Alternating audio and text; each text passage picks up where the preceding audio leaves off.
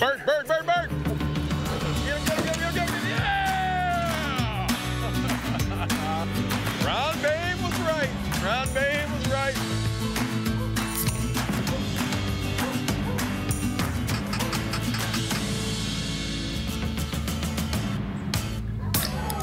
I'm feeling, I'm feeling spry.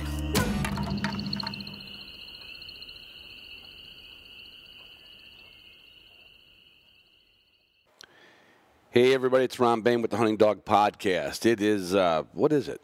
What is it today? Jesus criminy. It's the 23rd of January. Uh, yeah, three weeks and counting now before I leave for Pheasant Fest. But always, let's thank our Patreon patrons first, who will have a Zoom room this week. Um, I'll have some more videos to show them from the projects I'm working on and uh, that'll be fun. And you get to see that. So Patreon patrons get to come in and have a little peek at this new project. Yeah, and other things, you know, discounts on things like Pike Gear and all that other stuff, Onyx and you know Waltons and and, and Canine Athlete, all kinds of Patreon benefits. Plus, you get sneak peeks. Yeah, that's exactly what you get. Pike Gear, you don't need a sneak. You don't need a sneak peek. You can come. You want to talk about a sneak peek? Come to Pheasant Fest, right across the aisle. Brent's going to have Pike gear on display, all the clothes, all the pants, the vest, everything from soup to nuts, technical gear for the you upland hunters who are coming to Pheasant Fest. You'll have a little changing room. You can try them on. You can see what I've been yakking about for the last three years. That's going to be so much fun. Onyx will be there. They'll have. They won't be in my booth. They'll be right down the aisle from me. But we're going to have a lot of fun with Onyx. We've got some stuff coming up. They're going to be hosting a a Friday. Uh, hospitality suite. Oh, that's going to be fun. Wait till you see that one. Don't don't miss pheasant. You see the the, tr- the crux of this whole podcast intro. Don't miss don't miss Pheasant Fest because you can see stuff. Now, Boss Shot Shells is not going to be at Pheasant Fest, but I will have some with me. Just if you, well, I can't say I'm giving them away, but I'm just saying you can you can yak to me about the leth lethal leth, leth what's lethality is that the word the lethality of copper plated bismuth from boss walton's will not be there but walton's is going to send me a whole bunch of stuff to give away at i'm just telling you the whole pheasant fest is going to be hanging around the hdp village um, walton's is going to be donating a whole bunch of spices because um, what we're going to have is a cornhole game and we got a gunner kennel food crate with a five inch hole in it and I don't mean go ahead and practice. It's smaller than a cornhole hole. But we're going to have this set up, and you can donate.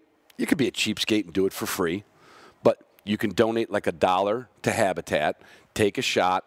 We're going to have Gunner koozies, HDP koozies, uh, hats from Gunner, Onyx gift cards, Walton Spices, all the all the all of my sponsors are going to be there in one way or another. You know, because Gunner kennels. They got two gunner kennels there. There'll be a giveaway there on Sunday for a gunner kennel and a gunner kennel food crate.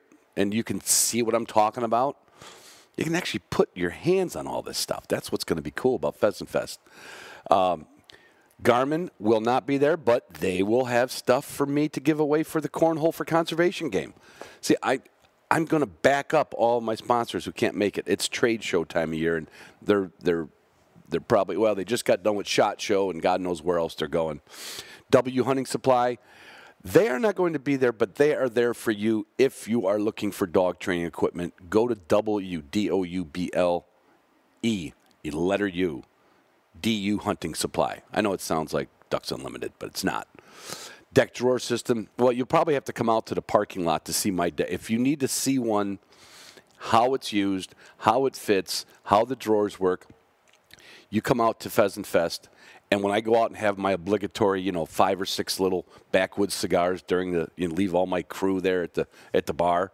You can come out, you can open it, you can see what I, you can see how I use the duck, the, the duck, the deck drawer system, and then you'll be, you know, envious, and you'll be ordering one of those too. And you know what? I'll leave my Weatherby shotgun right in there, but in case you don't want to walk out, in case it's cold in the parking lot Weatherby Shotguns will be at Pheasant Fest right around the corner for me. So there, you can you can put your hands on what I've been yakking about. Purina Pro Plan, well, they're always there. Oh, I got to jump back to Gunner Kennels. Take a look at my Instagram this week. Gunner Kennels came out with a door, a winter door, and it goes on with magnets. It's genius. Like everything Gunner does, it's genius. It's got a couple of it's got a couple of ties to it in case you're like blowing in the wind or you're in some North Dakota 50 mile an hour tailwind, so you won't the door won't blow off the kennel. But I'm telling you, you your dog's body heat will now heat up the inside of that kennel. I always put a little straw down in mine. I, I don't like I don't like anything but straw. Dogs seem to just do good in it. It's a little messy, of course. So what? Dogs are messy. And you got the winter door, the winter cover. They've always had the winter cover. Now they got the door goes on like a magnet. And it's even what's really nice for even just on a cool night, you just slap the door on. It's a magnet. It just boom right to the door in the morning, take it off. If you, you know, if the dog's sleeping in the truck, which in a lot of cases they have to, they do.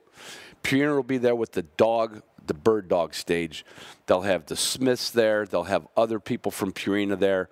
They'll have seminars on dog training. The, they're probably the reason why most people go to Fe- one of the main reasons is to go to the Purina bird dog stage. Canine Athlete will be there right in the village with me. They're going to have new dog. They're going to have samples. They're going to have, oh, they're going to. It's going to be fun. They're going to be right next to Jack. You know who Jack is? Don't say you don't know Jack. That's a game, actually. Um, yeah, Jack Butler's going to be there with his Gumleaf boots. Yeah. Jack will be there, Wilderness Athlete will be there, and the rest of the whole big giant booth will be Hunting Dog Podcast and Upland Institute. It's going to be well, don't miss it. I, I mean, it's worth the drive. Just you can literally get your hands on or see everything you hear me talk about in these obscenely long intros. Which this one's only been six hours or six hours, six minutes and thirty-five seconds. So that's not bad. Come on, got to give it to me there. So I can't wait to see you all at Pheasant Fest. Uh, this episode I did with Glenn Goldthorpe. And uh, Glenn reached out to me. You'll hear all about it. Um, I want to say it's not a new way of connecting breeders and buyers, but it's going to be the new way because this is a different type of website that he started. He started this in, in England, over in the UK. Very successful connecting breeders with buyers. And uh, you're, you're, gonna you're gonna enjoy this. And then of course Glenn and I just talk about how they train dogs and how I train dogs and how I'm somewhat always, what would you call it? UK curious. There, there's something to it. Have you ever watched the stuff? You know what I'm talking about. So I hope you enjoy this episode. I hope you start making your plans, get your hotel reservations, get your butt to Pheasant Fest. Everybody's going to be there. You don't want to miss it.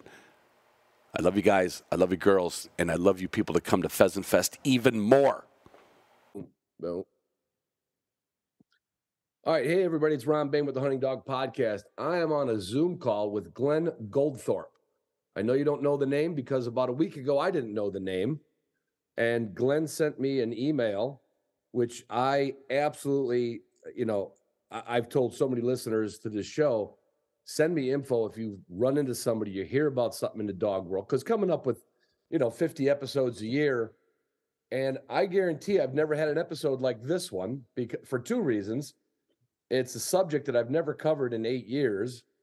And it's a fellow I've never talked to other than last week. In fact, um, Glenn, why don't you just start off? Introduce yourself and kind of what you, where you were, what you've done, and you don't have to tell everybody you're sitting in the sunshine in Cancun. they don't have to know that. No. Tell us how we well, tell everybody what you started over there. Well, good morning, everyone. Um, uh, and happy new year to all your listeners. Um, my name's Glenn. Uh, I'm the owner of a site called gundogsusa.com. So it's uh, USA's sort of premier website for buying and selling gun dogs. And you know the the added bonus is it's absolutely free to to anyone who wants to advertise. You know breeders and sellers who've got a litter of puppies. So um, I mean I, I do own a couple of websites back in the UK, and that's where I'm from originally. I used to trial gun dogs for many a year. So I own uh, Gun Dogs Direct, which is a, a, very popular site in the UK, and Gun Dogs UK likewise. So um, and and and the following we have back in the UK is is massive. Uh, we have a, such a, a great following.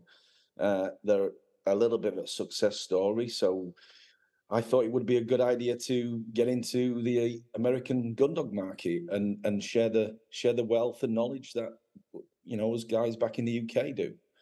And, Um, and Glenn, this is you just launched this, so so people when they go Mm. look, there's there's you're you're in the you've launched the website, but you're in the you're you're gathering. I mean, you you you obviously if Yeah. somebody's looking for a particular dog right now today, it might not be on there, Yeah. but the goal is it will be a comprehensive site absolutely. to connect breeder buyers, right?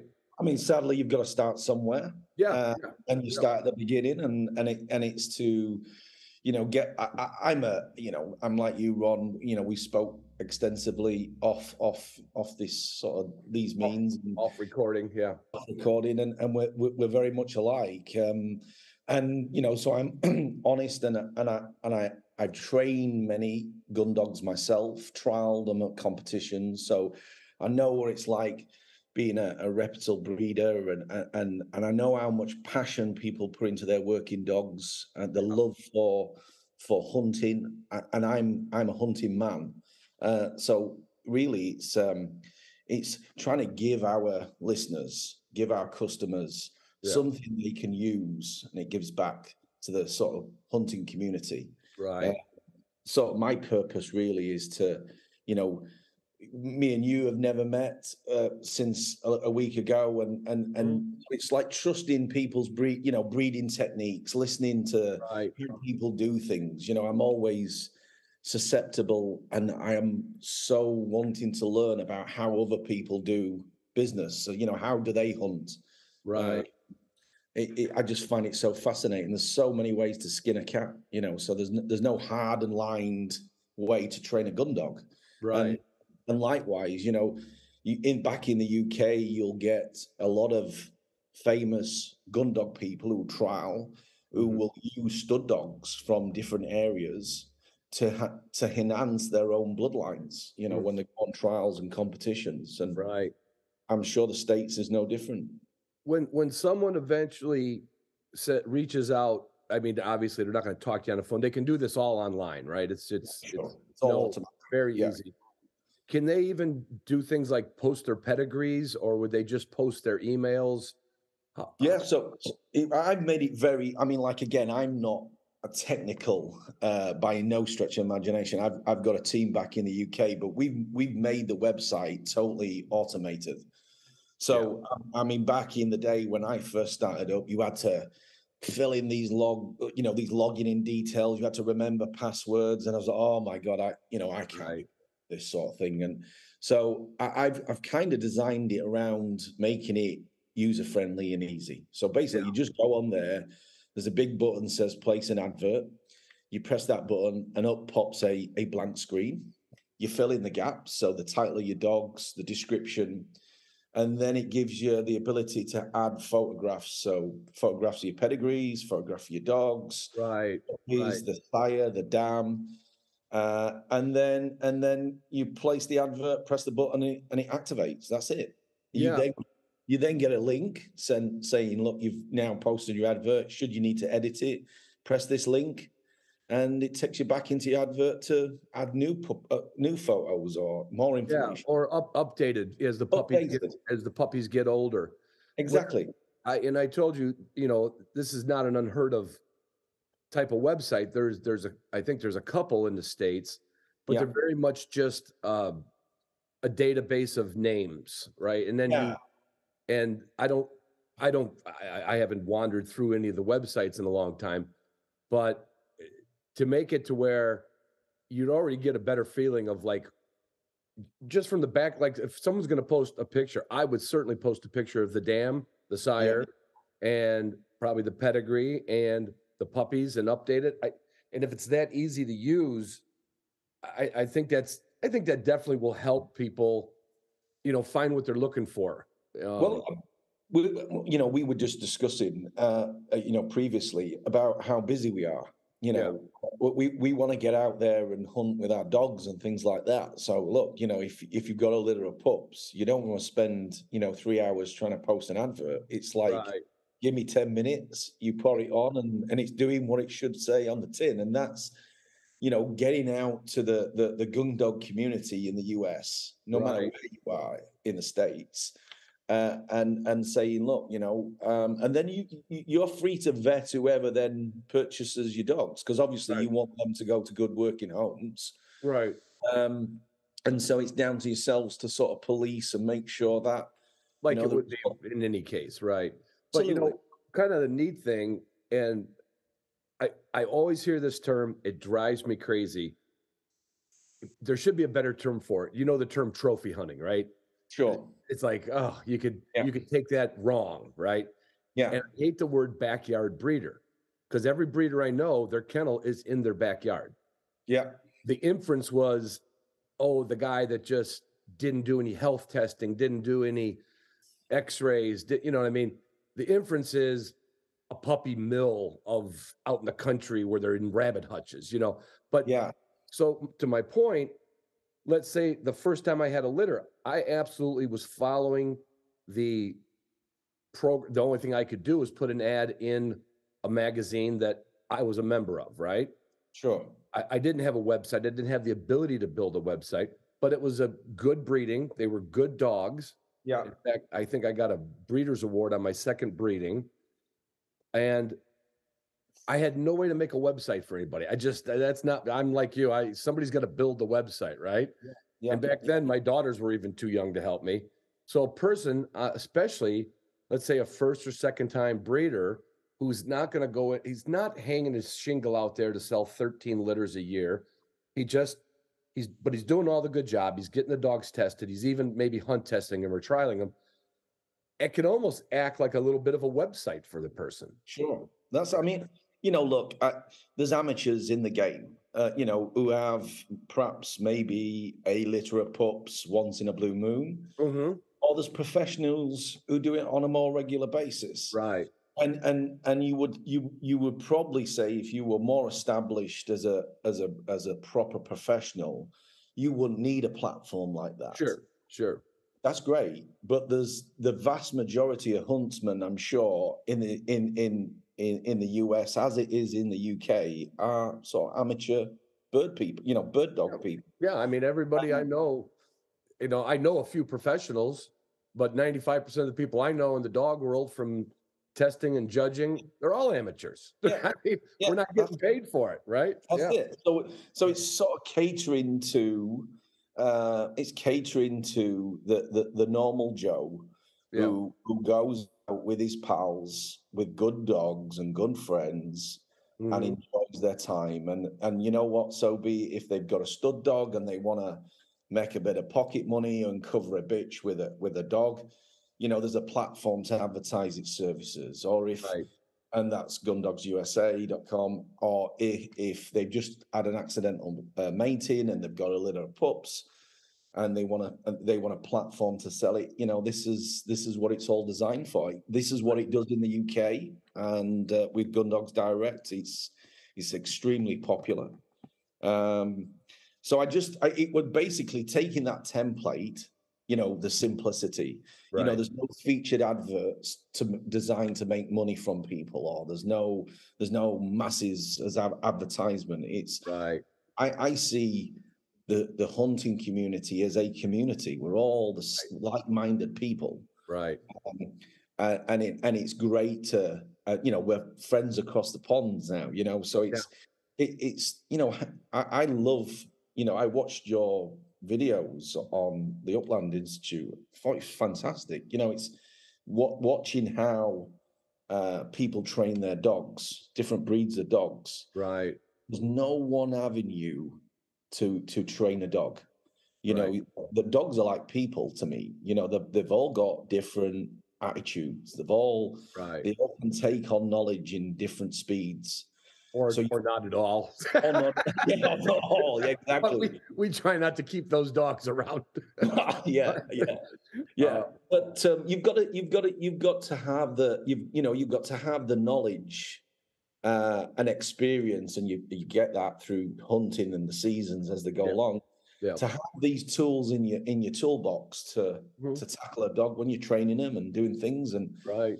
you know, not what not one dog in all the dogs I trained and trialed in in the UK was the same. You know, Yeah. they they, they Yeah. took they took the knowledge on differently, and and that with some things I had to do it in a different way. And I would go to professional trainers, friends of mine back in the UK, and say, "Look, I've got this dog doing this, Yeah. and the, and I, I'm and I'm trying to do this, and it, oh, and he would give me an example, and oh, to the hour in five minutes. So, you know, it's it's it's so important, you know, not to stay blinkered and think that there's only one way to train a gun dog. Right. Right. Absolutely not. Yeah. There's only one way to win a contest or a trial, but there's a well, lot. that's it. Yeah, A yeah. lot of ways. There's a lot of ways to get there. yeah. Oh, for sure. I mean, and look, you know, with trials, you talk about competition and trials. I mean, the easy thing I think in trials is there are a set of rules. Right. This is what we're looking for. This is the standard, Right. and everyone works to that standard. Yeah. However, if the gun dog market is yay big, so big, Right. you know, only a small fraction of the the the, the, the gun dog community trial gun dogs. Oh yeah. So the Yeah. bigger market is for the average listener who's listening today, who's just got an interest in gun dogs. Maybe how how can I get it, uh, you know, steadier on the whoa command, or how Right. can how can I how can I get it marking a retrieve better, or I you know how how can it, you know, uh, be a steadier on the point, whatever that might Right. be.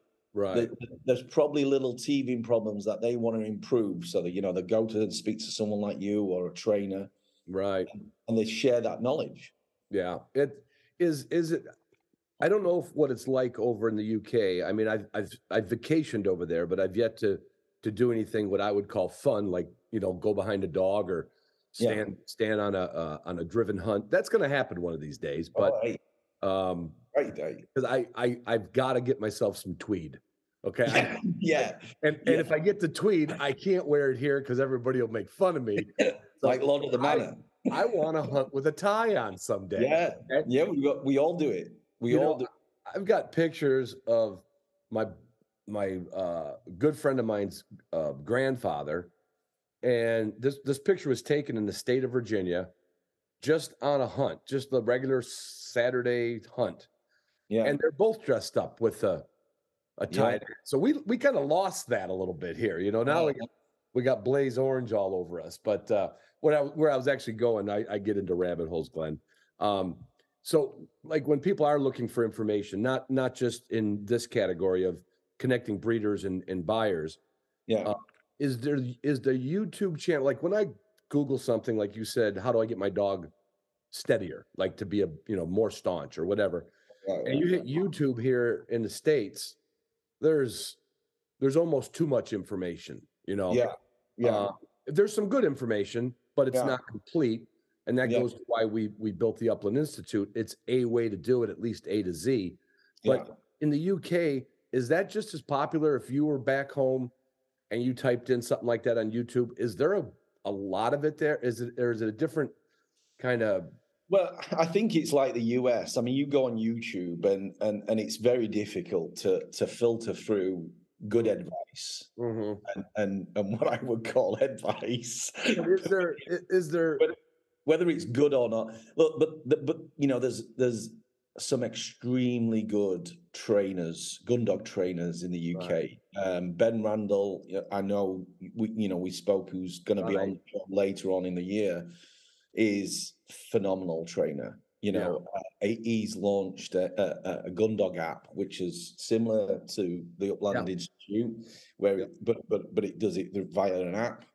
Um, you know, great advice. And and when I when I'm on Facebook or Instagram and people are, you know, seeking advice, I always point them to reputable people who I know Mhm. uh, who have been trialed and tested and Yeah. and, and and and are solid. Um, however, that being said, there are some very good novice trainers who haven't won, you know, big trophies. Right. Uh, so uh, you know, in the in the gun dog world in the UK is it- it's a small market. and and most people know people. Um, Right. If you're in that world, you'll you'll know who's It's probably yeah, it's probably almost I would guess almost a little easier just by the size of the UK, right? I mean, it's just not like if I wanted to get a dog from you know Washington State, I got a two thousand mile drive. yeah. Well, I think we you'd fit in Texas a, a fair few Yeah. times. I mean, The worst case for you guys would be from the south of London to the what, Yeah. to Wales or something, right? I mean, but well, Scotland down to London is like what 300 miles. yeah, oh, that far, huh? That Yeah, yeah, yeah, exactly. So That's a long way for us. yeah. Um, but um, yeah, I mean, uh, you know, it, it's very popular. You know, the the commercial side of shooting in the UK is massive. We do it a little different. There are what we call rough shooters who, who you know do pigeon shooting mhm. um, and walked up days where they just you know quarter and work their dogs, spaniels, like uh, Yeah. some bird dogs. Uh, and then you've got the driven drives, you know, the the commercial shoots where they'll Right. they'll, they'll pay, you know, maybe eight to ten guns, and they'll pay a fee for the day, and Right. and beaters will beat the birds to the guns, to the line Right. of guns, and all the shooters are doing is just shoot, you know, having a day shooting birds over them, you know. I mean, They can- that's it's like a duck hunt. You know, it's kind of like Yeah. a duck hunt, but somebody getting the ducks to come over your blind. You know, exactly that. and I've heard I've heard people like, "Oh, I would never do that." I'm like, oh, only reason I'm not doing it is because I can't get to England just like Yeah. that and Yeah. do it because I, Well, I mean, I, I think for the purists, you know, if the you know people are out. I mean, I, I've I said to you before. I said I, I feel like the Americans do real hunting. You know, you like Yeah. you you're, you're searching really more actively than we do. Ours is more a controlled environment. But look, I, I mean, I've I've shot on some really good estates in the in the UK, and I must admit, it's great. It's Yeah. great to, to practice your shooting, and when you when you drop a, a forty yarder, you know, or, or fifty yarder bird, and and they're, and they're going some. Let me Right. let me tell you, they're shifting. If they're coming off some of the moorlands, they're dropping. You know, the wings are back, and they're they're, they're going. I'll tell Um, you, I got to tell you the story. I don't think I've ever told my listeners a story. We went to an Indian reservation in South Dakota years ago. And you have to have a, a guide, you know, a, a resident of the of that reservation Yeah, to take you around. So it, it was definitely like private land because it's all owned by certain Indians, right? But he's got permissions and he's got leases. And the first guy we met, you know, it, it was a catastrophe. And uh, so we literally, as we were going through town, we saw a little sign outside of a out of a home off of on a hill, and it said guided bird hunts. I said, let's see what this guy's about. Because the other guy, literally, he had a leg in a walking cast and a prosthetic on the other one. So I, I know, I know he was not doing a lot of sharp tail bird hunting. Okay. no, that's not. And he no. certainly couldn't walk on the moors. You know? Yeah, yeah, yeah, for sure. But anyway, this other fella, he was pretty busy, but he says, "Well, I'll tell you what I could do for you." And he he literally set us up on the edge of the river, and he had literally a dozen young kids from the neighborhood Yeah, basically create a, a, a driven hunt for us. yeah, yeah, And I can tell you, I hit one bird because I never had pheasants No, over like- my head this Yeah. way, you know. it's a new experience. Rather Oh than my god! Yeah, Yeah, yeah. it's not just like the high house nine shot where you cover it, you know. Yeah, Uh, yeah. I and I couldn't believe how many birds that they these kids were, you know. I mean, he knew this one area and he knew he could do it. He knew he's going to Yeah. make some money from us. We were game, but I'm telling you what, we came out of there. We thought we were going to like, oh, this is gonna. As soon as we started seeing these things rocketing over our heads, Yeah. I mean, we're shooting backwards and twi- yeah. it, it was a. So there, there's a skill level to that way beyond oh, Hundred percent, you hundred could percent. take you could take our best wing shooters over pointed birds Yeah, and reverse that and they would struggle with that and and maybe tho- some of those shooters would struggle with you know yeah. you know out in south dakota with pheasants flying away but a bird Hey, coming at you that, that's I've got a friend back in the UK. He's he's pretty well known, and he's and he does some excellent YouTube videos. His name's Dave Carey. Dave Carey shooting. Oh, I've seen his stuff. He's an older guy. You're a little older. Older guy. Yeah. Sh- oh my God, Ron, this Yeah. guy can shoot and he's got Yeah. one eye. One He's- eye. Yes. He's sponsored by, I mean, I, I met the chap. I, I used to do a lot of clay pigeon shooting and I used to tour around Europe. I had a sponsorship with a cartridge company and and I loved it. And and and off I went around Europe shooting. And I met Dave, a lovely chap, absolutely proper English gentleman. But he's massive into two things: a shooting and the conservation of shooting. Right. Uh, it's a dying breed back in the UK. You've got all these, uh, you know, uh, P, you know, PC people trying to get rid of the shooting, right. and right. to bringing young children into the the the, the sort of shooting community, right. hunting, because it's a, a dying breed, a dying skill set. No, because I mean, a lot of people can be forgiven. You know, hunting men they just think they're going to go out and kill things. That's not what it's all about. It's No. it's about conservation as well. Uh, Right. it- this is our back garden. You know, I, I, I, when I kill birds, I'm, I'm eating them. You know, as Right. well. Um, Right. and I, and I have an active interest in, you know, how you keep that. You know, yeah, and the it- why and the how and yeah, like that's in- our in the- future. in the states here, I think I I I I'm associated with in in in an informal partnership with Pheasants Forever Yeah, with Ruffed Grouse Society. yeah, And I think in the last 20 years, they're getting the point across that like you don't ever see anything they do that doesn't have the word habitat yes, because now it that's again where we're so different. We've got all this all this acreage, gazillion acres in the United States, yet we've managed to screw it up, which is about the equivalent of anywhere where it's all private. Like everything in the UK is basically privately held.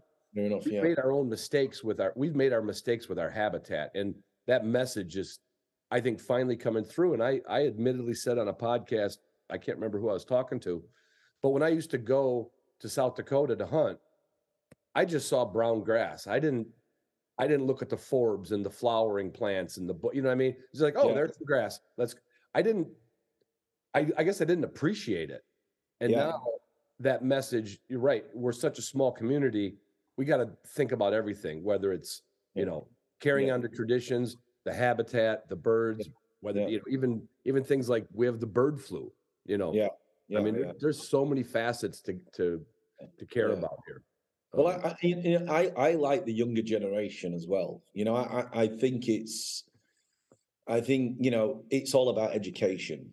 You know, and and and uh, when you bring the, you know, if you got someone like yourself or, or you know, like people like Dave back in the UK, flying the flag. These are guys who have seen it, done it, got the t-shirt, understand what Yeah. nature really is. Um, they're great ambassadors for the kids to know how to do it properly. yeah. Uh, and I love that. I think Yeah. that's a, a great message. You know, I, I, served in, in the UK forces for 22 years in the Coldstream Guards. You know, it's all about respect for others, uh, loyalty, and and and and I find that in the shooting community because they're honest people. You know, they're hardworking, honest people who love, you know, love the the Yeah, outdoors. it's, it's like you could always get along with them. Oh, I mean, you it- yeah, it- it's absolutely, it- it's like you and I. We don't know each other. I feel like you know we'll be sending Christmas cards. You know. hundred percent, mate. Um, I got to 100%. ask you. Twenty. You said twenty-two years in the service. You were there. Yeah, I served with the Coldstream Guards. Yeah, yeah. I did uh, two tours Afghan, a tour Iraq, Bosnia, Northern Ireland. Yeah, yeah. Enjoyed it. Uh, did, did that that had to encumber your your shooting a little bit, or were there any opportunities in any of those places? Well, well, different types of shootings. Well, yeah, not, not that not that kind of shooting. um, no, I, well, my dad was a farmer, so so I, I as a young age, I, I was brought up, uh, you know, in in so he was my ambassador. He showed me Right. all about Right. you know the countryside and uh, and then and then the, the sort of gun dog side was what was it now? I was uh, sort of in my late teens, and I met a guy called Gary Smith, who was who was on the England gun dog team, and and saw I had a spaniel, and he he sort of pulled me to one side. As you know, the shooting community, you know, they like to offer a little advice. And Oh yeah. he says, "Hey, kid," he says, "Are you interested in in in learning a little bit more about how to handle your dog?" Or I went, "Yeah, brilliant." And then, you know, ever since then, we always stayed in touch. And and and and when I was at home, I was back on the farm with my dad, and uh, and I, he'd be looking after my dogs while I were away, and then I'd I'd sort of pick up from there. But and and then I got a posting at um, at Catterick tr- training sort of drill sergeants, what we call all arms drill wing, and it gave me some stability in life. So Yeah. it was kind of a, a course run Monday to Friday, which I was an instructor.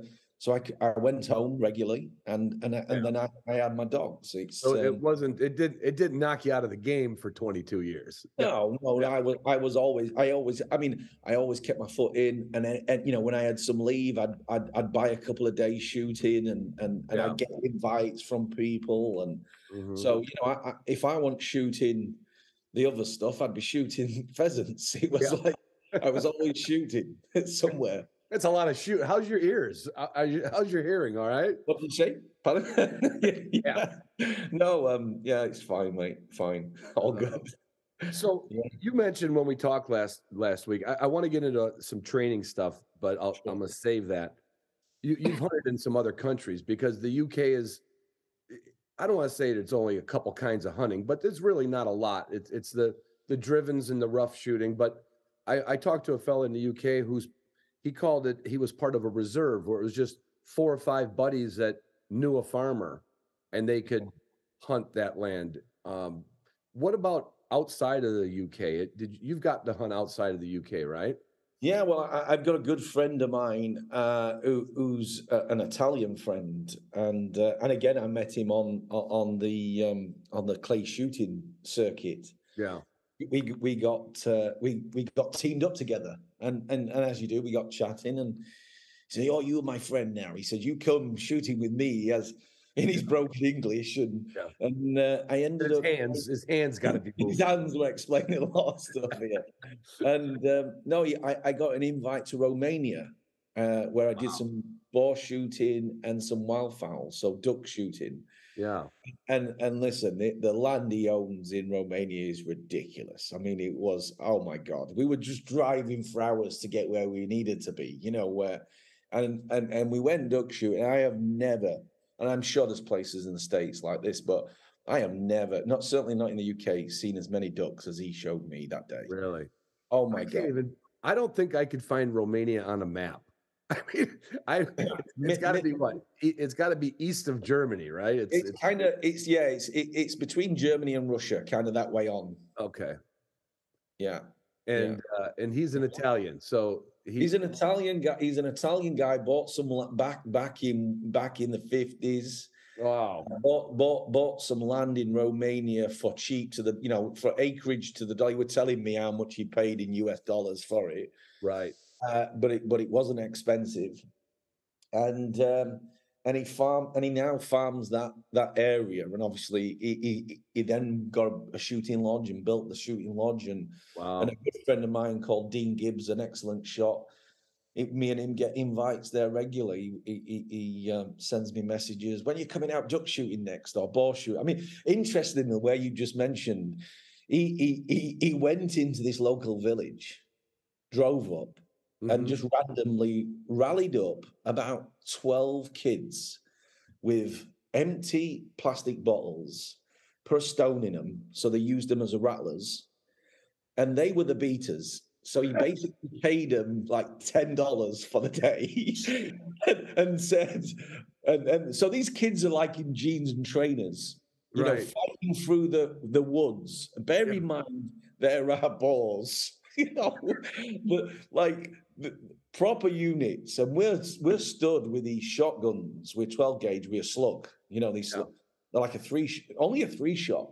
And Right. I'm and I'm stood in this fire break, listening to these kids, you know, maybe at what 500 meters ahead of us, but you Yeah. can very lightly hear the echo through the trees of them, oi, oi, oi, oi, oi, oi, you know, rattling their plastic bottles, and you're waiting for these boar to, you know, shoot through the woods Yeah. you ain't got long they're on you and, and boy, they ain't stopping for nothing. They'll, you know, if they hit you, they'll break your legs. You- As you know, they'll they'll they'll kill you, maybe. You know, so Yeah, they can, cer- uh, they could certainly do some damage. yeah, that, I wouldn't want to. I wouldn't I'd want. be- I'd rather get clipped by an NFL player than a boar. exactly, exactly. He ain't gonna come back and gore you. Well, I, I'm standing there thinking, you know, look, again, I've, I've been on tours and I'm thinking, you know, th- I've been in some pretty shady areas, but this is one of them, you know, waiting for a ball to come through the woodland. You get the flashback Yeah, yeah, yeah, what's going to be running across your sight. Yeah, yeah. That's kind of odd that they used a they like 12 gauge slug for that, huh? For the boar. Well, I- I mean, he had a rifle. He just, he- you know, these were his spare rifle. Uh, Yeah. Well, I had a European firearms certificate, but rather than bringing his own guns through the airports, which Yeah. can be a bit of a nightmare, Yeah. he was like, "Look, don't worry about it. I've got guns for you." So little did we know we were just going to get a 12 gauge with three slugs. You'll be okay, he said. You'll be okay. Uh, I, What's I I said, oh, go ahead. Sorry, I said to him, I said, um, "What if we sh- we shoot one of the young boys?" He's like, "Oh, don't worry, we've got we've got another nine others." You know, he's like they're very blasé. You know, he's like, "Oh, "There's no problem." Yeah, no problem. They'll be far enough behind him, and if we lose one, you know, Yeah. there's a Yeah. bunch of kids in the village. Nice, Yeah. nice. We'll Yeah. edit that part out. No, Sorry. I don't edit anything out. Um, I, I always wonder about game laws when people go somewhere. Were you able to? I know not every hunt and not every place you're at that you've been to, or nor have I. Sometimes I'll go somewhere on a hunt and I'm not bringing any meat home. Can you transport meat in in Europe? Is, is there a Uh, bunch of stipulations on it? Because in the UK, a farmer could actually sell what they shoot on the market. I've seen that in the market. Yeah, yeah. I think within within the country, I, I personally not done it myself. I've not Yeah. seen it. I mean, if you do quarry in the cut, like you know, again, I, I, I used to flog uh, a few a few bra- a few brace to to a couple of you know pub owner who wanted a brace, and you know, I, Right. I'd go shooting and and sell them in. He'd eat them himself. So Right, you know, between between us within the country, that's fine, but. right. But if I'd been in Romania and I'd, and I'd, I wanted to bring some up back, I, I I don't know how that would be if I'm honest. It's Just curious. yeah. there's- No, There's no wild. Is there any wild pigs in in the UK? I don't. there, there are, but the, the, there there there there's a small area in in South what they're intro, what they introduced probably a few decades back now. Um, uh, but I, I, they, they don't shoot them. They don't Really? shoot them. They are wild, but um, uh, and it, and it's a a- it's a very small area. But um, way back when, obviously, yeah, they they they, they hunted them out of existence. But Right. um, Right. but uh, not now, not really. No. When um, getting on a little bit of, of training, it's the one thing that has seemed to run true every. And I've probably had maybe five people from the UK, um, and I think one fellow from uh, from Australia way back in the day, which we know is just a, an arm of the UK, kind of, you know, or was. It's, it's where you sent all your criminals. That's it. Yeah. and uh, um, the use of e-collars is not i don't want to say it's somebody i've heard somebody say it's forbidden or it's just not done um is that is there any truth to that or Yeah, I mean- talked to there doesn't seem to use e-collars No, I mean, I, it's something I was going to actually pick up. I mean, I, I watched a lot of your, your your videos, and there's sort of the introduction of e-collars and things like that. And um, at, at the UK, you will, you, you, I have seen it probably once, you know, but that were a long time ago. Um, it, it's not a, it's not a thing we really, we really use. right Um, I, I- I personally wouldn't use them um, if I were training my dogs. Um, I mean, look, I, I- this is how I kind of think of it. This is this is when I when I would predominantly train spaniels, so cocker spaniels and springer spaniels. Yep. So, so so before I start training, I always say to myself, right, what is it I want? I mean, there's an open question. What is a gun dog? What do I want this dog to be? What what do I do? Because it's a tool for me to a bond with, but it's a tool for me to hunt. Right. So if, if let's say I'm I, I do some rough shooting and I, I I walk up some sort of elephant grass and a, a bit of scrubland and I and I flush a couple of pheasants. Mhm. So I- I'd probably say to myself, right, well, I want it to quarter ground, so hunt ground, hunt hunt the game in front of me, uh, and I want it to turn on a stop whistle. You know, when I want it to control it, to move. You know, wherever we're gonna wherever we're gonna clear and hunt. Right. I want it to be steady to the flush. So the co- what we call a contact flush when you're flushing a pheasant, a bird. Right. Uh, and then once it's steady, I want to shoot the bird. I want that dog then to watch the bird away and mark it. Yep. And then on my command, I call it out and retrieve the, the bird tenderly to hand. Yeah. Now, now I know what I want. So now I know what I want. I know how to structure my training.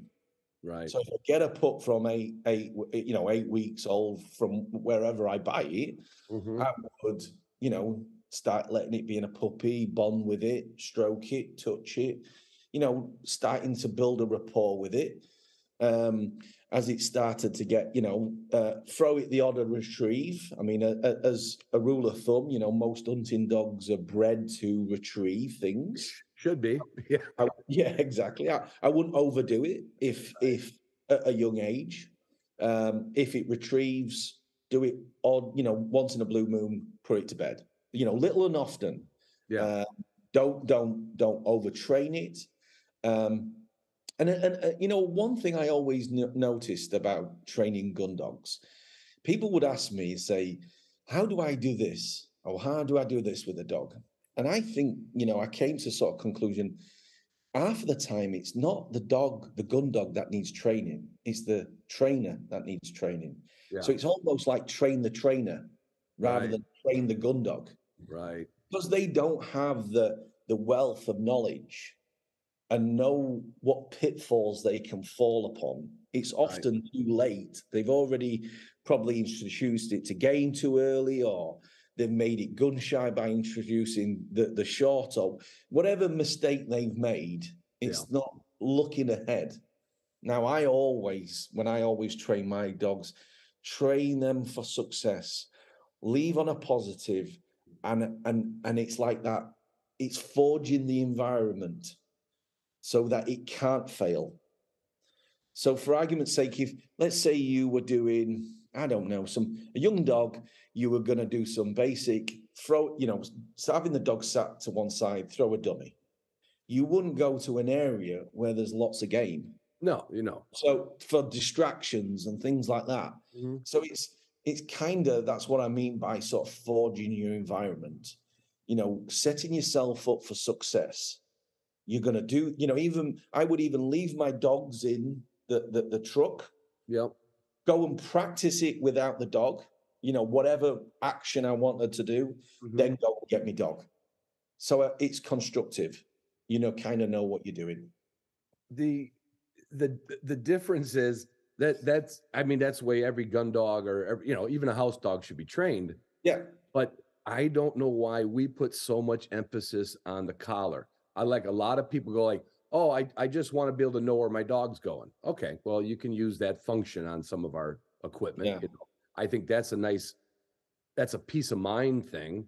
Mm, But th- these people, uh, uh, and I'm I'm saying us, yeah. they they think when they get the collar that that's how they train the dog. You know what Yeah. I mean? Like Yeah. I got the collar. Yeah. The collar obviously speaks canine. Mm, You know, yeah. And they, uh, yeah, yeah, and they're not doing yeah, the basic. They're in a hurry. The Yeah. dog might be too young for a hunting season, but their buddy took their six month old last year. Six month old got a dog. Now this guy's got a five month old dog. He's like, Yeah. I wonder if I should take him this year. And they literally think that that transmitter is talking to the dog without ever teaching the dog anything yeah. about it. You know, Well, I, I also think of it like this: How far can a gun, a, shotgun, shoot? A, a- you know, its quarry effectively. I would probably say 30, 40 yards. yeah, yeah, yeah, something like that. Yeah, Yeah. So realistically, your dog shouldn't be any further out than thirty or forty yards. right. So Right. by, and, by the- and certainly in the flushing dog. Yeah, yeah. Yeah, in a yeah, flushing yeah. dog, you know, like why would you have it further out? Because even if it flushes the bird, you can't shoot it. It's too far out. So you've you need the dog within a workable area in front of you, so that should it do what it's supposed to do, and that's flush the birds, you're within a killing range to kill. You know, to sh- to make that kill. Right.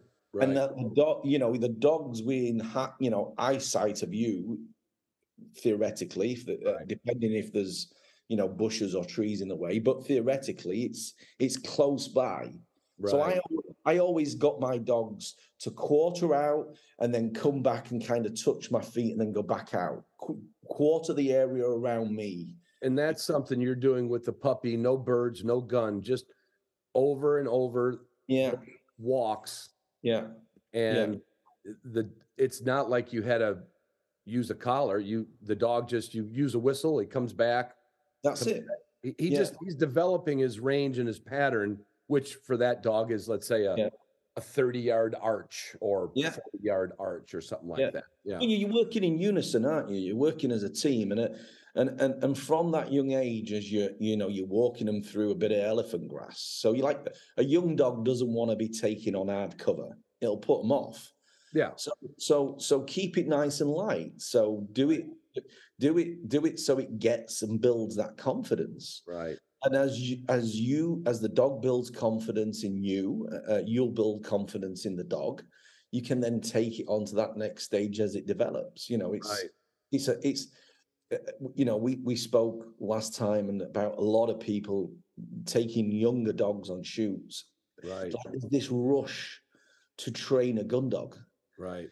And and then almost saying like well if i go through these these series of uh uh, uh milestones yeah exactly. Yeah. then that's it. I'm i'm done. Well you know again i had trial dogs two and a half year old. I was always out training. And it, and i would even do the basic stuff.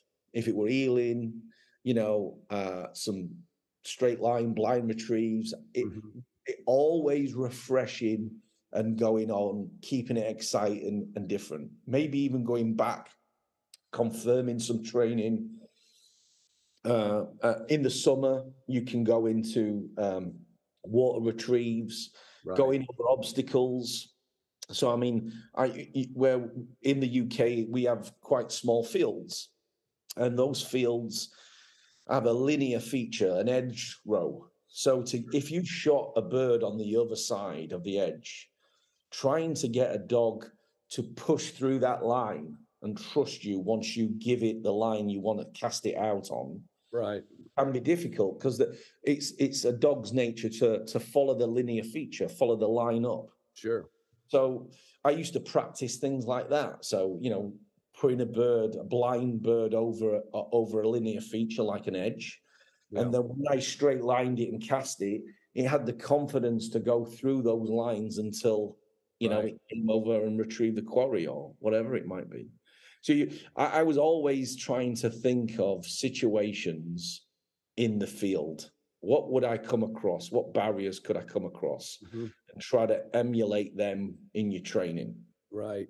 Are I I'm sure this I know there's a contingency of pointing dogs, but I, I would think certainly the spaniels and the labradors that's that's a you know that's a that's a flushing dog.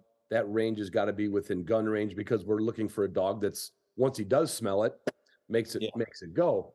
Yeah. What, what do you see in pointing dogs over there? Uh, Or do you? I I mean I, I, I mean, I, I, I, I, had one pointing dog. I had a wild uh, Vizsla. Uh, wild Vizsla? Vizsla, yeah. Vizsla.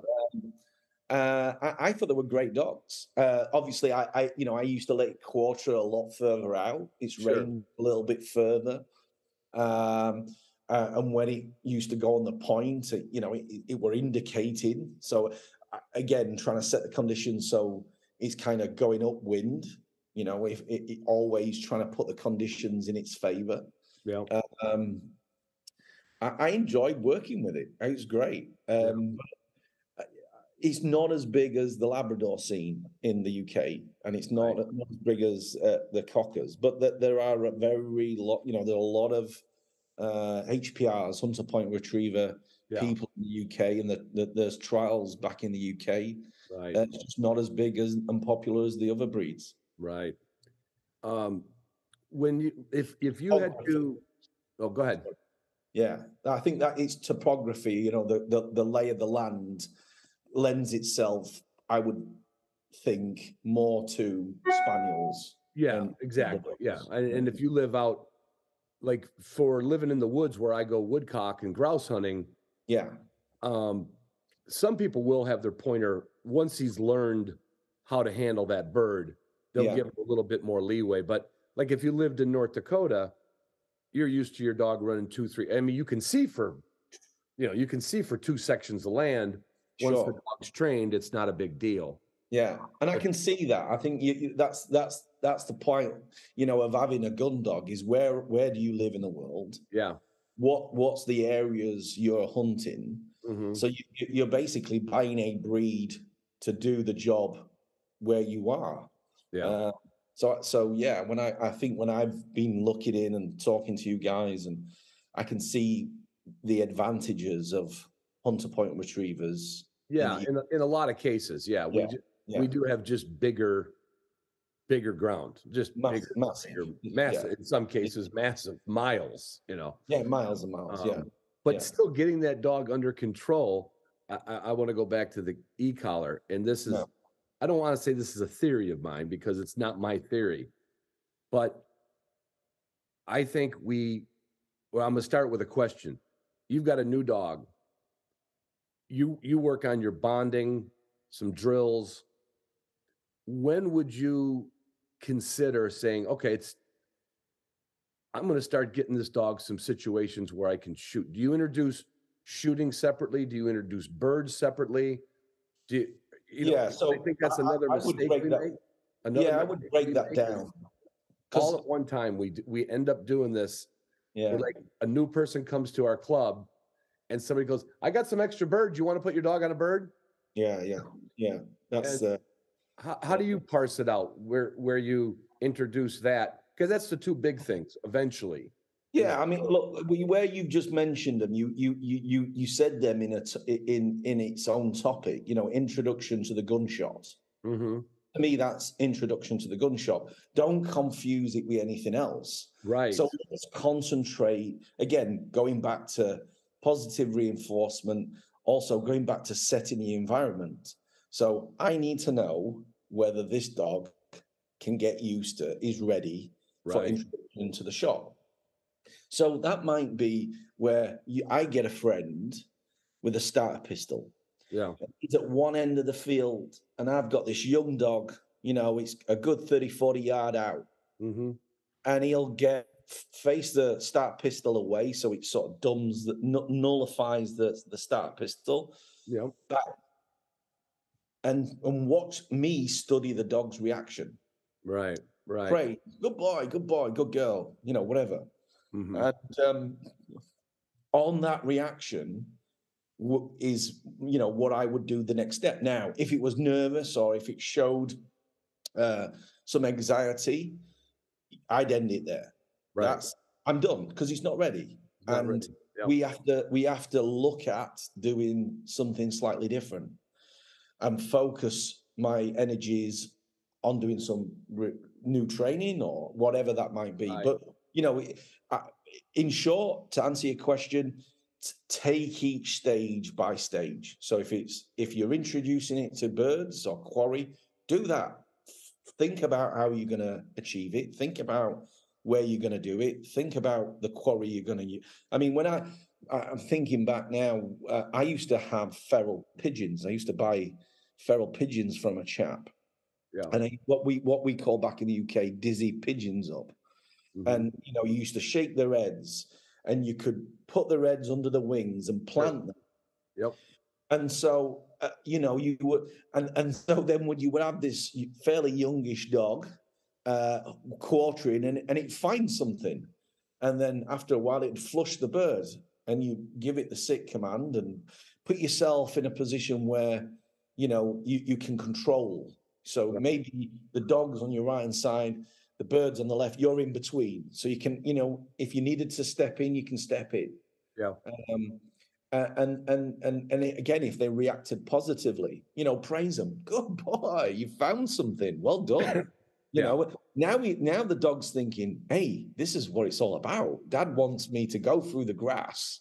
He has Oh. no idea that you're going to shoot one of those someday. Exactly, exactly. But, but you're building like, up. this is cool. Yeah. Hmm. And and But that's it. That's how you put. It's like a puzzle. You're putting it all together. right. And, And as it grows up and matures, and its brain m- matures, and it's a force of habit. You know, it's a, like, oh, it's another day. We're doing the same thing again, but in a different way. It, it, it becomes more confident and, and and has confidence in you. Yeah. I can tell you, I I you, you watch some of the Upland Institute, the, the clips I could send to you. Yeah, and uh, in our in our gun intro there there is a popular method that people use it used to be only used and i you know i could be wrong on this anybody can write me an email but back in the day if they had a dog that they were struggling with gunfire yeah, and let's say it was just they weren't doing it too early it was just like i said a sensitive dog right yeah, yeah, what they would then do is use the birds as the stimulus for the chase yeah, and then have that distant gunfire. So he hears it, but he's so like, oh, there's a bird, you know. Took its mind off it. Yeah, Yeah. And that became that was kind of like a way that you dealt with it yeah, if the dog was a little sensitive.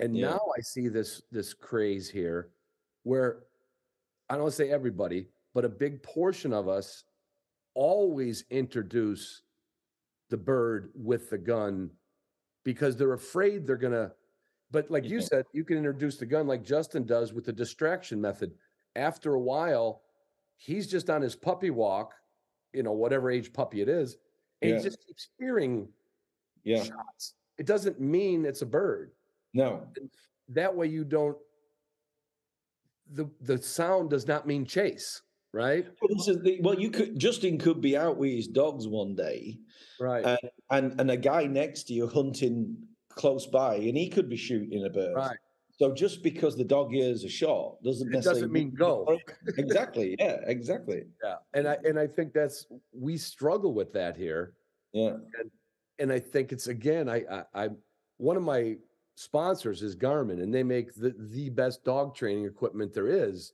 yeah, And I'm not trying to knock their sales down. I'm just trying to get people to buy it later. Do all, do all the Yeah. work first, and then yeah, then incorporate the collar. If you know, because the Yeah. collar should you to me should be just like teaching a child multilingual languages. It Yeah. should, it should only mean what it's already been taught. Yeah. Well, I, I, I often, uh, Ron, I, I often use the analogy when I was speak, just like what you've just said. You hit the nail on the head. You know, think, you know, all these dogs have got personalities. They'll, they'll all train slightly quicker or sm- slower than others.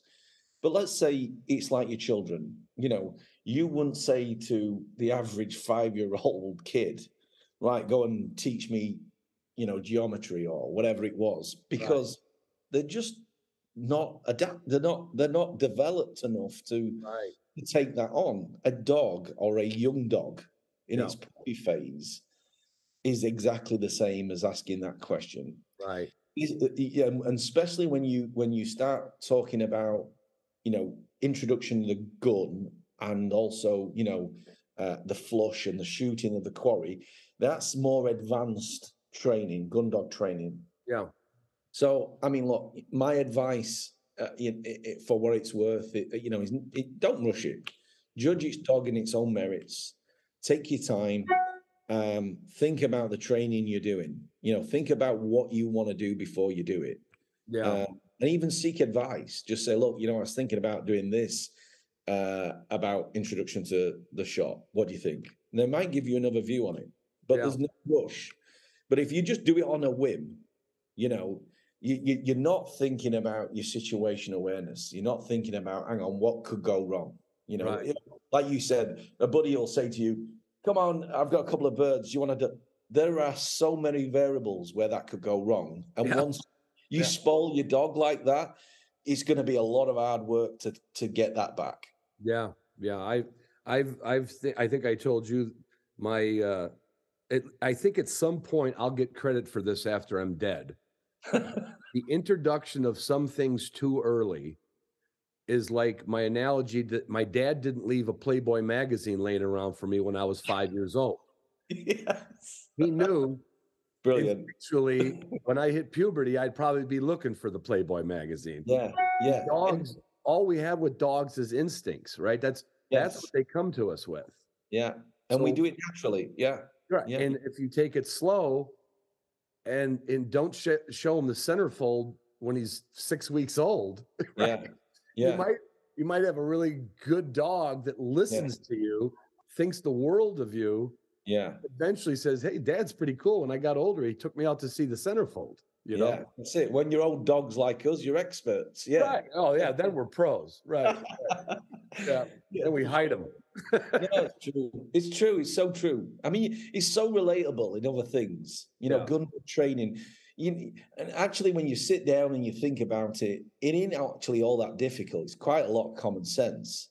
Yeah. Um, uh, it, it, just can be daunting for people uh, who have never done it before, or or not trained many gun dogs, or made a mistake before, and that really off puts Right. them. Um, you know, you just can't keep doing the same thing wrong over and over again. You're going to get the same result. You've got to just think of new ways of, you know, it's, I, I it, it was same as things like um, getting a dog to straight line. You know, when you're sending it out on a retrieve, rather than it hunting all the way up to somewhere. Right. I used to- I used to get like a barrier. I used to make some fences on my land Yeah. and put the dummy at the end so it couldn't go either way. It's like a wall and encourage it just to keep straight lining it. And then that fence got bigger and bigger and wider and wider until there was not a fence there. Right. And it, you know, it, through the I- exactly, it's like repetition. But I would just like thinking outside the box as you know, how can I get this particular dog to do this right. particular task? Um, you know, that that there are so many tools out there. Yeah. I, I we've heard of people here, if the time of year is right. And to your point, like there's there's a lot of ways to train dogs, but there's more dog personalities than there's ways to train them. It's consistency for sure. Yeah. Yeah. But we've heard people say if you can mow mow a line in the grass, Yes. if you or Yeah. if you've got a field that's you could just take a brush hog and just mow that line, be the same thing. It, Linear. Yeah. it would it would keep that dog like, well, I know it's down there and Yeah. I won't use my search right now. I'm using my my That's it. That's it. Yeah. Um, and I've always been amazed at, and this is because I'm on my second cocker, and this one's very young. and to work on that range, to you know, I would say her, and- this is just me, in in the in this the English cocker, the range is kind of built in, but you could let it get sloppy, and I did that with my first one. Yeah. I- yeah. I did. I think I literally took it hunting a little too soon. Yeah. Yeah. Um, instead of working like her range when she was a puppy, I was like, oh, she's gonna look at her. Well, yeah. she wasn't going far because she's like walking with me. Be with you. Yeah.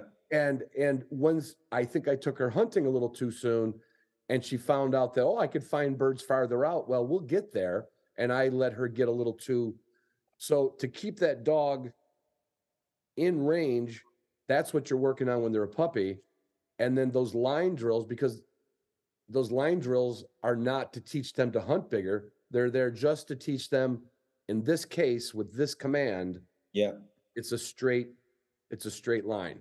Yeah. You want them out retrieving, not hunting. But, but you know, if you're saying at this stage, once you've shot the quarry, it's hopefully marked it. If it's not, it's blind. Yeah. When I send you out on a direction, I want you to go out until I stop you in the hunt area and you can hunt in that area.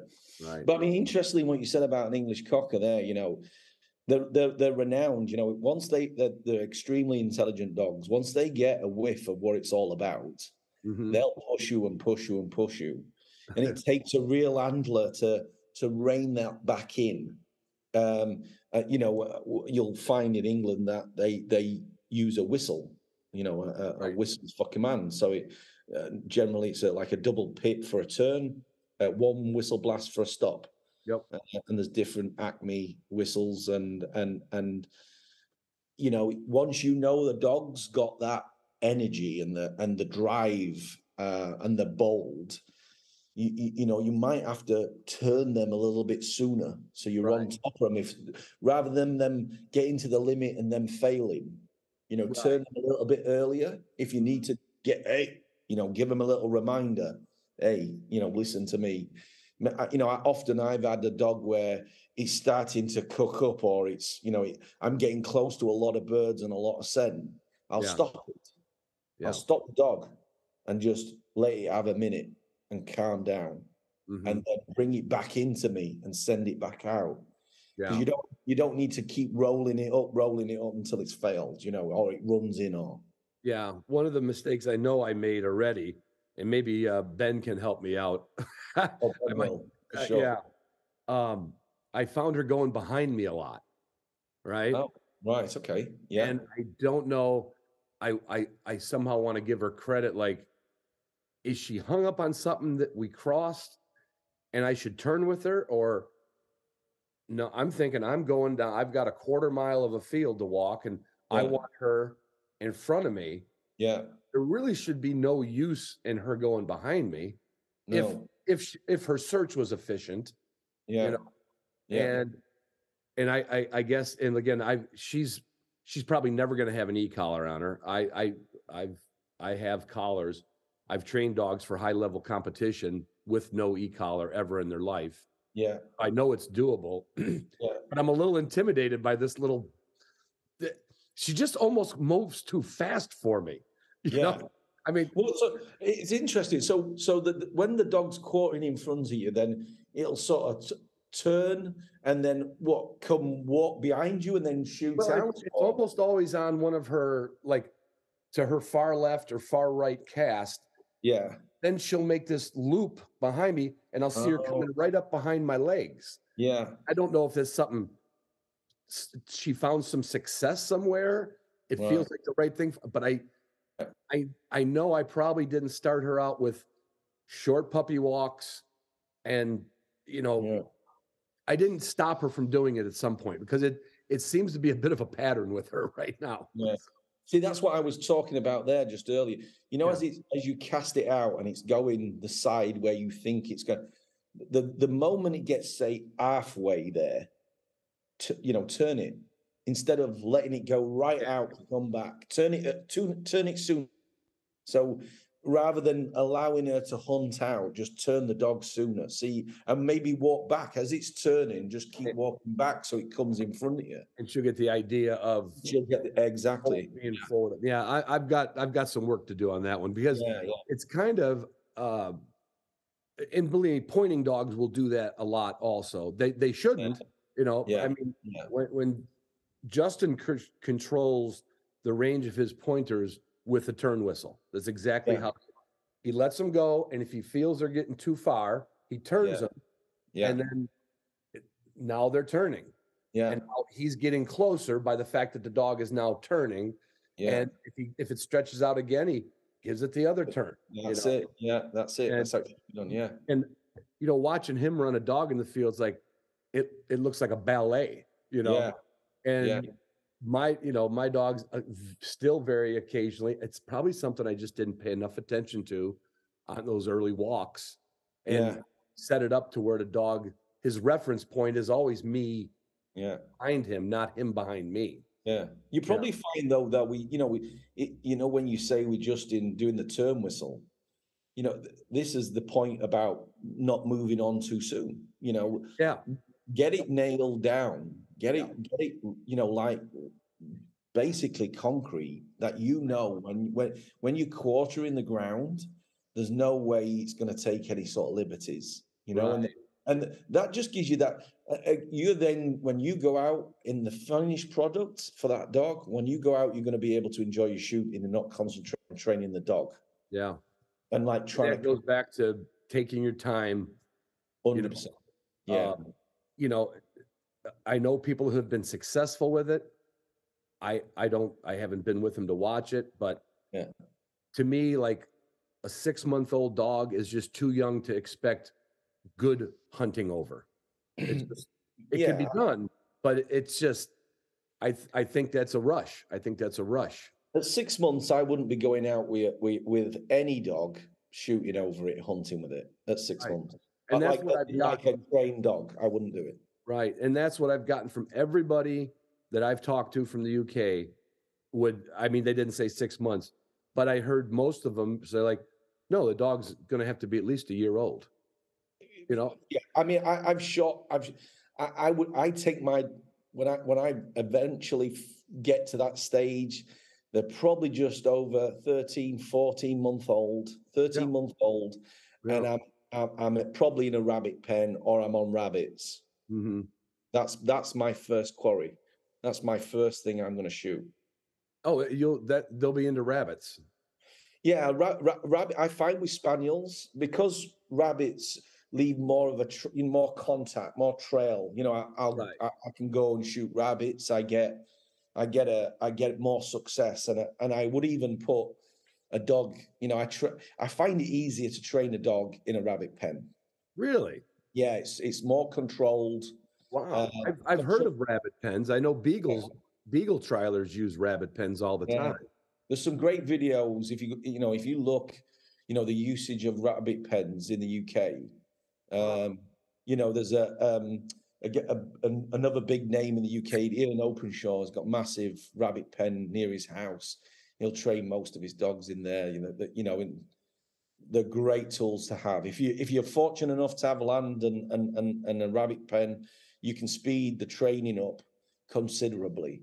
Wow. What uh, I mean, not to to the inch and to the foot, but about how big of a, a pen would that be roughly? Well, um, I mean, roughly. a, a decent one. Uh, you could probably get away minimum wise. You probably get away be you know, fifty meters by fifty, something like that is a decent ish. 150 feet, but yeah, yeah, yeah. That's like that. Yeah, I mean you you can do smaller. I mean the idea of here is to you, you would build up um, some conifers, you know, conifer trees, sure. not sure. hard brash, because remember you're training young dogs, and the and the rabbits will hide in these brushes. So, Right. and the, the rest of it's kind of light elephantish grass, like low down.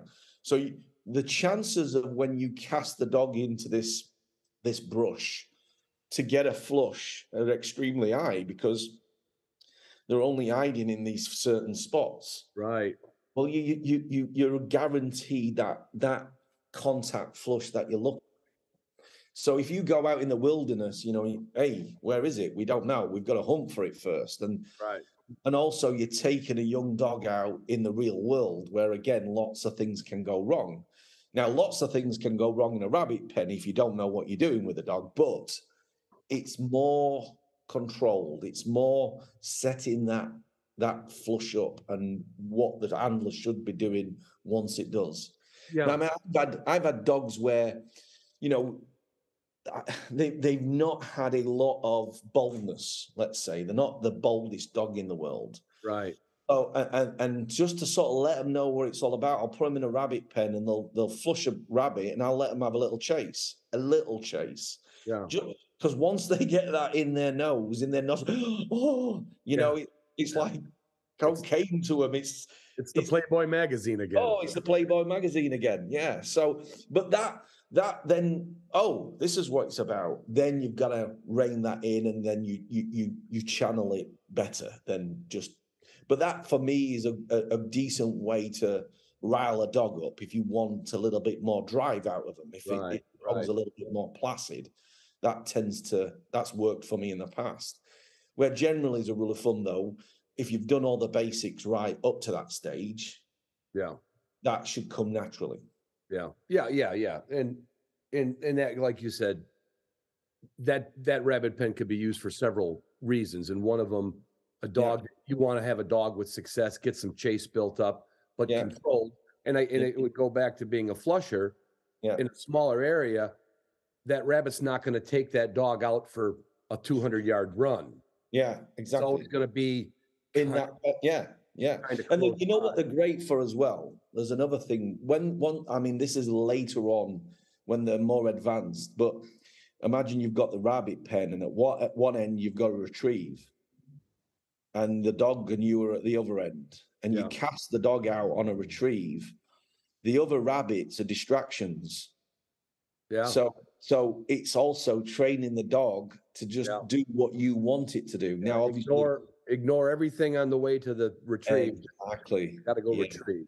Right. So, even I mean- though even though that dog knows there might be rabbits there. Oh yeah, and they will. And the, and you look, and, and rabbit pens do. I mean, look, I wouldn't necessarily advise everyone rushing off, but uh, rabbit pens also uh, have their downfalls um, because you start taking that dog in there every week, it knows what's coming, and Right, it knows right. it's in a rabbit pen. It's a it's a Oh, tool. It's not It's a, a, yeah, not a lifestyle. It's not Yeah. a lifestyle. Yeah, no, no, no, no, no. But that's But funny. yeah. I've never heard anybody use, you know, again, I, I would not do that with a pointing dog with rabbits, you know, because we're not trying to get a flush out of the dog.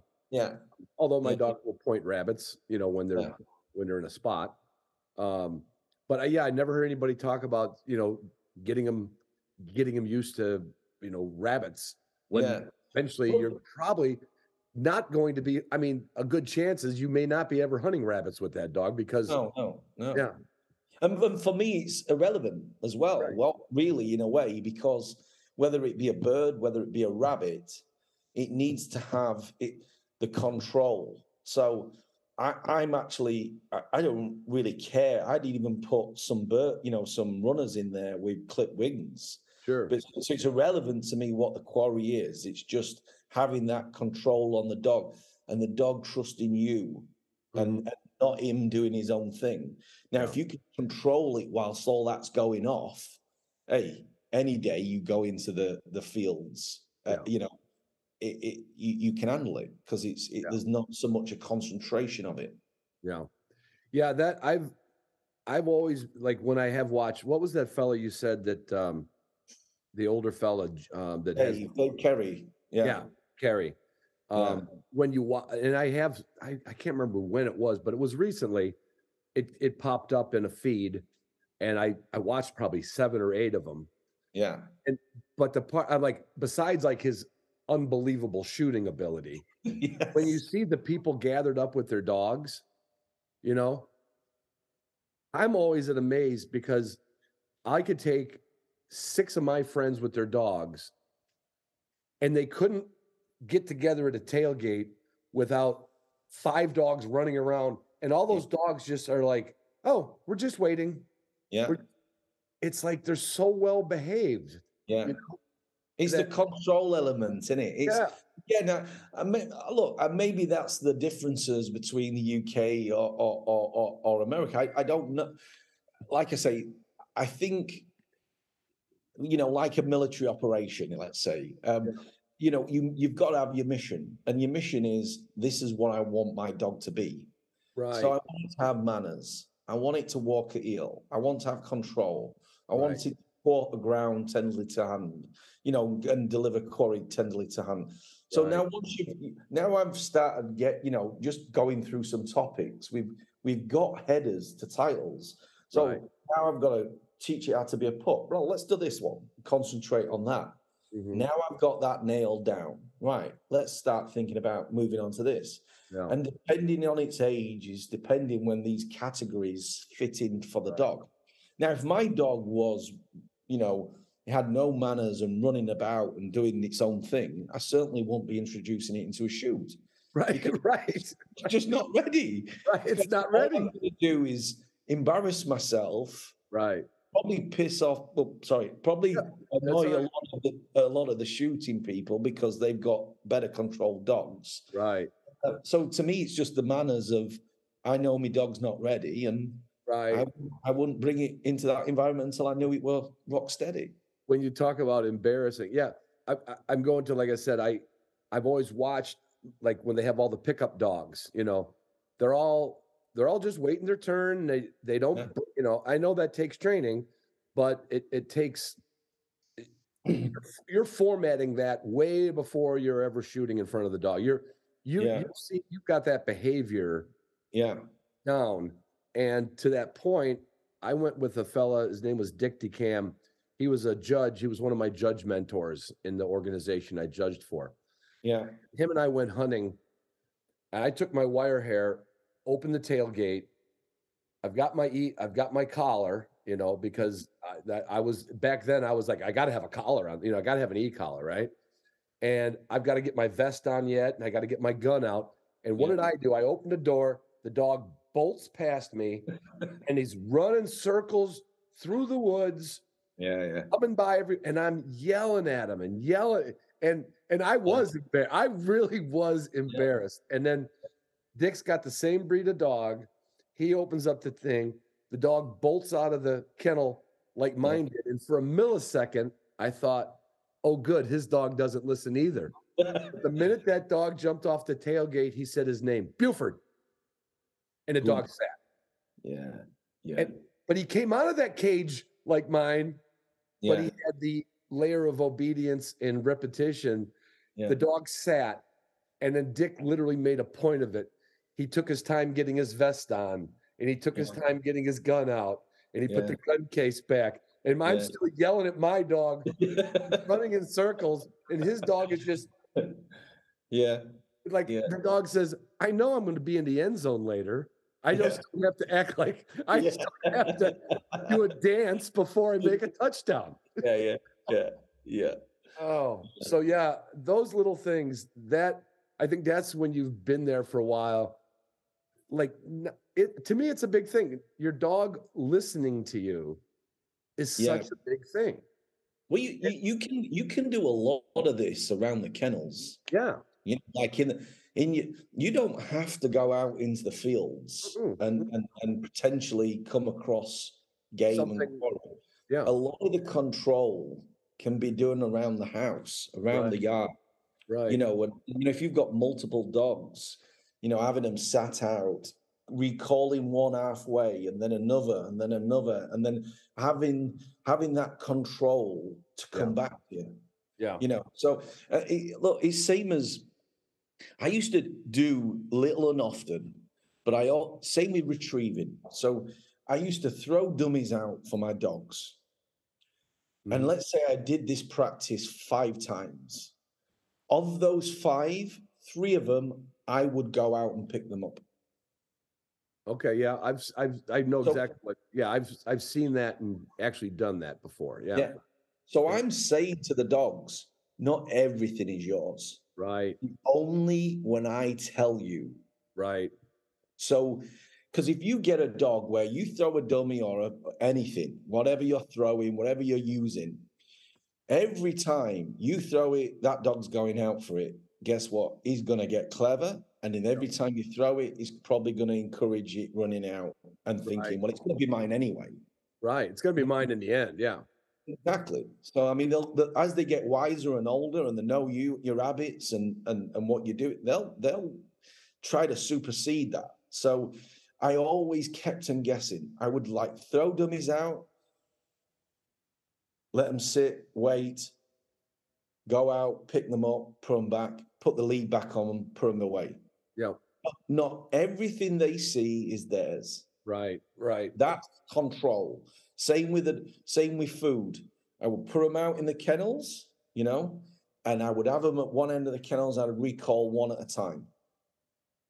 Yeah. Just on food. I mean, they get fed twice, once a day. Yeah. So I was always putting them level that level of control what I call manners. You know, Yeah. when you teach your kids, it's like, please, thank you, yes, sir, no, mom, thank you. Manners. You get it Yeah. right down. They're the foundations, the cornerstone of what these these dogs are going to be. So if you can get that right there, you're likely to carry that on in the field. Yeah. If you I- it- yeah, I started that with um, with Tagus a year ago when I got him home. You know, waiting for food, waiting for the okay for food, waiting for the okay Yeah. for the door. yeah, I I was very lazy. Even with my trained dogs, they were still a little. I'd call them heathens, right? yeah, And To this day, now he's going to be two years old. When I pour his food in his bowl in his kennel, he looks up at me, yeah, yes, Yeah. yeah, and I'm like, okay. I just use okay for any release, right? And he Yeah. eats his food. All That's my it. other dogs, they're literally as I'm pouring it into the Yeah, bowl, yeah, they're they're yeah. not. You know, Try to and lick I'm, o- I'm okay with that, but Yeah. he's easier to train because I did Yeah. take it slower with him. And I, I think I mm-hmm. told you a week ago when we talked, maybe I tell the story to a lot of people. I thought I waited too long for his field work because, like, when I finally started getting him ready for his puppy test, his natural ability test, I was like, boy, you don't, you don't have much. Boy, you don't have much. Like, what? But it only took him a few walks to realize, oh, Ron's letting me Yeah. wander now Yeah. but the recall is there, Yeah. you Yeah. know, and Yeah. now I have to incorporate the whistle and Yeah. some hand stuff with it. So, yeah, Yeah. I took the time with that one, and I'm going to take the time with every one of them. Yeah. Except that little cocker, he just moves. She moves too fast. fast. Yeah. fast. Sorry. I'm, Well, look, you know, and this is this is the point behind all this, and I think you know important to, for all the listeners to to sort of for me, it's like again, once you know what you want out of the dog, you know, maybe these things that we're discussing, they're not bothered about that. You know, that's hey, Right. that's that's that's okay. This there's no hard and fast rule that you know you've got it right as long as the dog's doing what you kind of want it to do and Right. it does what it says on the tin and it, and and if you're not a particular stickler at those sort of things, hey, you know, peace to uh, peace and love to you. Um, but but if but if you want a little bit more control, Mhm. if you know, and and you want everything to be a little bit more tight and sharpened, that takes investment time, time. into them. Yeah. Yeah. Because again, uh, instincts don't expire, No. right? no, I mean, the that's love it. of a bird yeah. is is going to is is genetically already in that dog. it's already there. Yeah. Um, and in in the in like you said most dog and I, and I would say unless they've been specially bred like some of the pointer competitions in the states most most bird dogs will pick up a bird i mean most right so Yeah, that is rule of at some point that is just an instinct because Yeah. i could take my wife's corgi that dog retrieves Yeah. His yeah. last name is my not- French bull, bulldog doing it. My French Right. bulldog used to do it. Yeah. So that is an instinct. So we were, and what's not an instinct is impulse control. Yeah. That's yeah. not an instinct. So That's that's, what we're working on Yeah. is Yeah. that impulse control, informing them Yeah. to do like you said. If I say, "Hey, I'm going to be hunting with my friends," and they don't steady their dogs up, okay, if that's that's fine, but you should be able to call that dog off at any minute and have him come back to you. You don't want you don't want to skip that, you know. So well, I mean, it's safety for the dog as well. You know, there might be an environment out there where you need to recall the dog. I Mhm. would, I, I, I mean, for me, putting some brakes on a dog. Yeah. You know, it's like driving a car without any brakes. You know, Yeah, you can get away with it, but it's not safe. Yeah, it's not. It's not advisable. Um, using using reverse to slow the truck down is not, not good for the transmission. no, no. But hey, I've seen it done, and um, you know, and, and they're happy and content. And I'm, like Yeah. I say, it's you know, I, I've got a good friend in North Dakota whose dogs have zero training, but they live literally in bird country, yeah, and I, I I'm sure you can call them back to him, but yeah, they literally have no training, but it fits his lifestyle. yeah, It's- I, I'm just going to go out in this eight thousand acre yeah, cattle field, and I'm going to go hunting. Yeah. so it works for him. But yeah, yeah. And I love that. You know, that, uh, again, that's what I I think so many people get bogged down. You know, if like say I saw your dog, oh my god, that's fantastic. How and they almost, you know, I I, I need to imitate what you're doing. right, There's so many again variables. It's like your lifestyle, where you are, and what you do with your dogs, and that might not necessarily marry with you. So, what you, I, I mean, like a favorite question of mine is, what is a trained gun dog? yeah, Because your perception of one, right, uh, Justin's perception of a trained gun dog, uh, uh, uh, you know, Ben's perception of a they're all vastly different. right, It's, it's kind of what you need to get out of that dog. Right, Now, right. if for, for trialing for competition, very easy because there's set of rules and they're laid out for you, and Right. you've you've got to meet that criteria. right, So train your dog to that standard. right. When you're talking about the field, wow, you know, you yeah, who knows? It's what you want. Yeah. So I think, um, like I, say, I say that manners, though, the manners is the one you shouldn't skip, right? I You can, don't think so. No. live with a lot of stuff, but Yeah. the manners early on, uh, Yeah. and he, he is living, and that is literally, and I've, I've, I know people who've recommended it to me with other dogs. They've said, get your dog to not let, you should be able to go through the door first, and then your dog's allowed to come, right? That's just, Yeah. and a lot of people, tons of people do that. Know, I honestly didn't do it until this last dog, and I'm Yeah. I'm on my I don't know. I think I did a list last year. I think I'm on my 24th dog, right, of all the dogs I've owned. yeah. And this is the first one I stopped some of that early impulse control, and I was like, "Wow, this dog." I I want to say this dog really likes me. No, I I let it under. It was like my mom took me to church. She Yeah. expected me to be quiet, Yeah. Yeah. right? That's And- right. and I'll bet you I couldn't take either one of my four grandchildren to church right now because I would be asked to go. Yeah. Yeah. Yeah. Hundred percent. I don't want to be that guy. I, don't want to be sent into the cry No. room with my dog. I mean, I, I'm over like when you know when when I were out with my dogs, I, I'd be over critical. You know, like say if they failed or they did something, Yeah, I'd never blame the dogs. I knew it was always me. right. I would always say I didn't pick up a signal. Something I'd work out what happened where I want alert. So I I, I like to think same as like you know we were talking about the shot. I would say there's no my personal opinion for what it's worth is there's no gun dog is gun shy. right. You've just put it in an environment. You've set up something to make it gun Right. shy. Right. You've Right. you've you, you've introduced it too quickly, too closely, too loud. To you've done Something, yeah. to to, and you've not studied the the dog's uh, the Right. dog uh, boldness or a lack of it. Um, so I mean, I, I I- I'm I'm always critical of myself if I've failed in doing something Yeah. because dogs are dogs will kind of do what they're trained to do if Right. there's enough repetitive training and And no, nobody's bred a line of dogs that I'll guarantee, like, say, buy a dog for me. You're gonna have a hell of a time getting them used to Yeah. gunfire. No, they shouldn't. It shouldn't be a thing. It shouldn't be a thing. Well, look, I've- I've, I've heard I've that. seen it. I've Sorry. heard that, and I've, or I've heard people say like, "Well, that breed, that breed is more sensitive, so be careful with the gun." Yeah. Maybe that breed just develops slower. There's nothing sensitive about it. It's just No, it's not ready.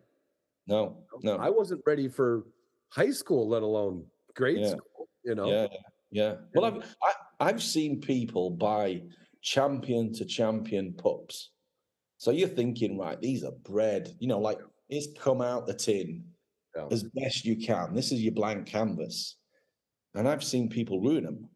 So Yeah. there's it's it's there's no hard and fast just because you're going to get the best.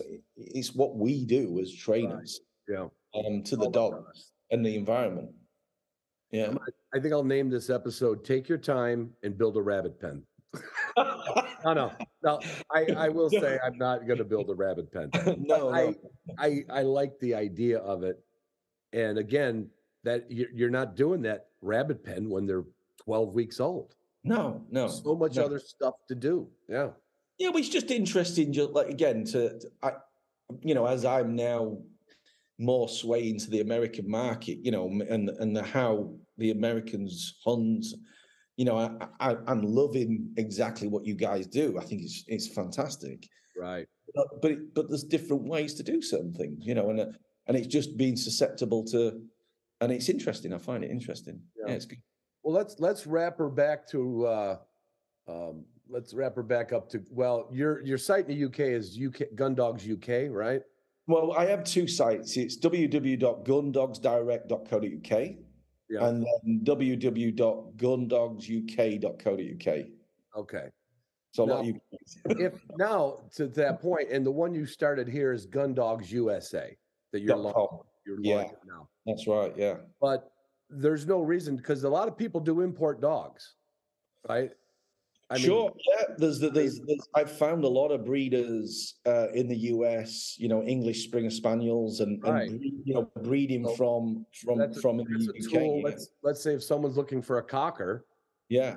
You know, don't wait for just you can go to the UK site and you'll find those dogs. Oh, there's, there's, there's, there's I mean, that those sites are popular, and there's, there's, there's ample dogs on there, and, and because again, we we keep it simple and honest, uh, uh, and and that's what hunting people are. They don't want to, they, don't want the fuss. It, it it's kind of an honest site.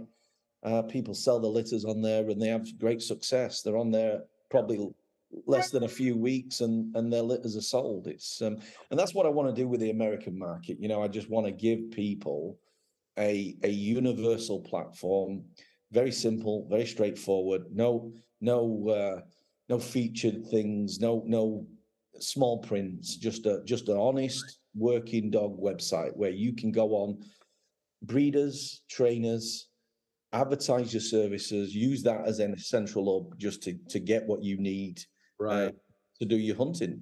Well, cool. I will. Uh, I'll mention it throughout the year. I'll be looking at the website as I'll probably start recognizing some of my my friends over the country. Like, oh, look, you just you just listed your litter on Gun Dogs USA. I say you listened to the podcast. So yeah. Well, we've uh, got your we've got your link, the the the Upland Institute on on Gun Dogs USA. So again, great. if viewers need to to um, find your find, find your website and find the training videos. They're on there. They can great direct link to you. Now all we got to do is that proverbial like if you're ever going to be in the West hunting, or are you just going to stay down in the sunshine? What what what's your plan? What's your, not not to get personal, but what's your plan? There's not a lot of places to hunt in Cancun, so you can't stay there forever. No, I, I do sort, sort of six months on, six months off. Okay. So we've got a little place here, and then go back to you know shooting. This shooting season, I haven't because I've been launching the site, so I've been yeah. flat out this year. Mm-hmm. Next year, I mean, I'm itching to get behind the gun and get get under some dogs. So yeah. uh, next year, I'll when the shooting season kicks off, I've got two trips. In fact, three trips. I plan going dove shooting in Argentina. Okay. Uh, I'm going to Romania to see my friend. We're going to do some boar shooting. Yeah. Then I'll I'll do some drives back in the UK. Right. Well, you know, it might be easier for me to just fly across the pond because I don't mind hunting with other people's dogs. So, uh, you've also got an invite here. You know, you're yeah. welcome. I, am building. I'm building up my UK. No. Yeah. I'm building up my UK directory. so maybe I can get you and Ben, and we can get. So I would, like I said, I'm gonna I'm gonna wear the tweed one day yeah. Well, I'll lend you some stuff. I'll lend you. Oh. I've got plenty. Yeah, you're you're about you're about what 44, 46 jacket, maybe 40. I'm, I'm 48. I'm a 48. 48. Good, because I'm getting that way. Yeah. so, I want to be less, but I'm 48. I want to be less too, but you know, as long as you got something, then I won't have to I won't have to buy it.